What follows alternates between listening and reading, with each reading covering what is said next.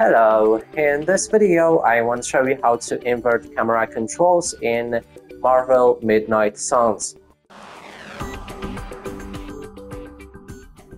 To do this, first we'll need to open the options, then navigate to the general. Inside you should be able to find the invert camera vertical that you can enable or disable and below there's also invert camera horizontal that you can do the same thing with.